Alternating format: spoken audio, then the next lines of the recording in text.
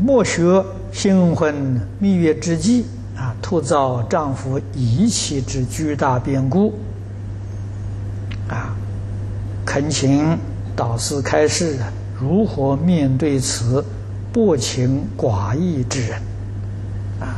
他自知犯犯错，但死不悔改，应如何劝化？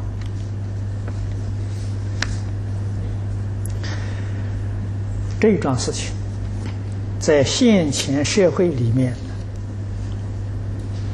我们常常听到，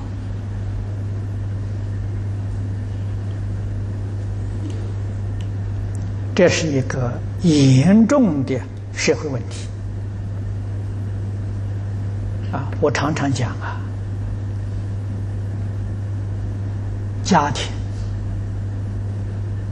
是社会的基层组织，社会像一个人生一样，家庭是这个身上的细胞啊。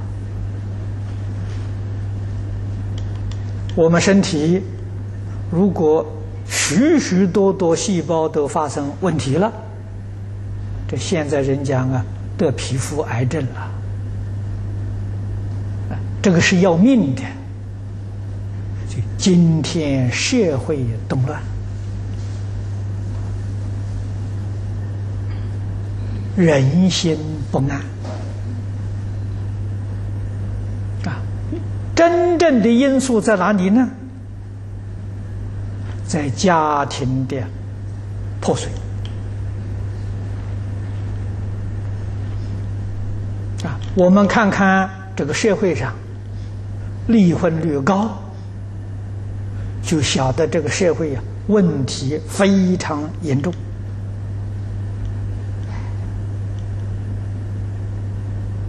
啊！这是一个非常可怕的现象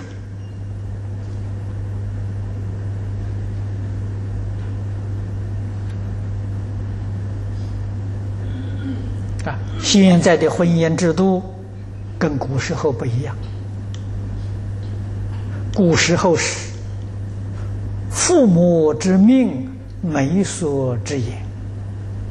我们看看古代的婚姻制度，古代的家庭，确实比现在好啊！啊，那么现在人反对古时候这个方法，啊，这种制度，啊，所以自由恋爱。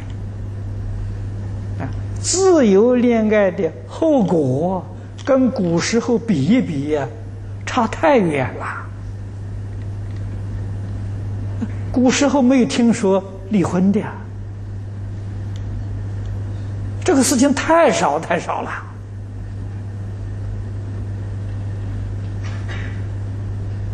所以，慎修家齐，而后国治。啊我们要冷静想一想，哪一个做父母的人不爱子女？哪一个做父母的人不推不对子女终身幸福着想？啊，他给你选择对象，差费苦心啊！他为你一生幸福啊！啊，老人经验总比年轻人多啊，他是用理智来选择，不是感情冲动啊。这个自由恋爱是感情冲动里头没有理智啊！啊，我们还听在美国还听到。但是早晨结婚，晚上就离婚了，成什么话吧？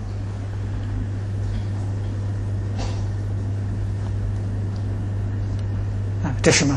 这个是感情冲动啊，毫无理智啊！啊，所以在先前 这种自由的啊这个婚姻制度之下，男女结合。一定要慎重啊，有智慧的年轻人啊，往往做朋友啊，能做个三年、五年啊，甚至于是有十年的啊，然后再结婚啊，这么长时间的交往观察啊，两个人能不能？一生在一起相处，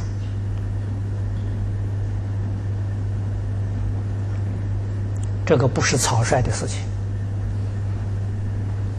啊！我对这个事情在讲经里面讲过几次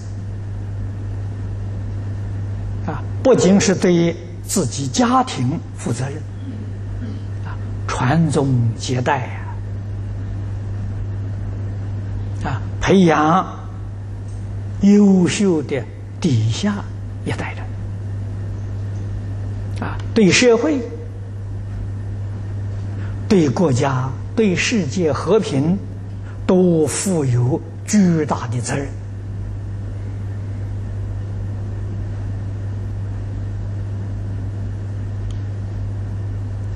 啊。那么，为什么婚后？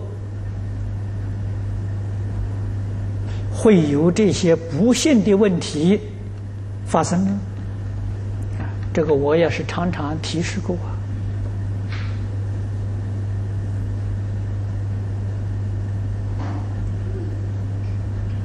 婚前的时候啊，彼此都能包容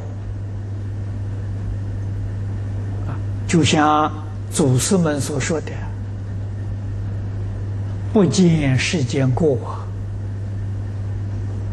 啊，见不到对方的过失啊！结婚之后啊，啊，一天到晚专看对方的过失，这个日子还能过吗？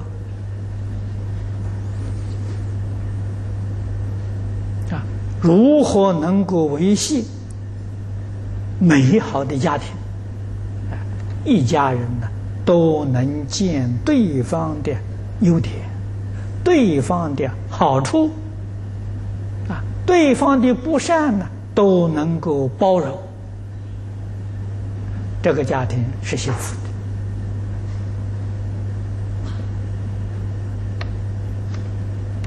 的。啊，归国劝善，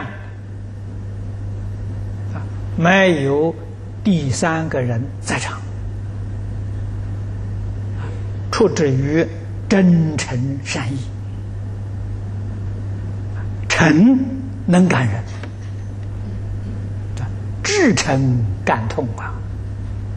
古人所讲的“精诚所至，金石为开”，啊，不能感动对方，是我们的真诚不足啊！能以真诚心，决定能够感动对方。啊，是真诚的，是至善的，是对对方有利益的，而不是有损害的。啊，哪有不会接受的道理？我们要遇到这样的一个人对待我，我一定会接受。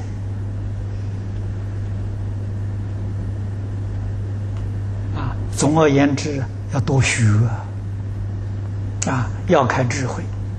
懂得善巧方便，啊，这个问题自然就能够化解了。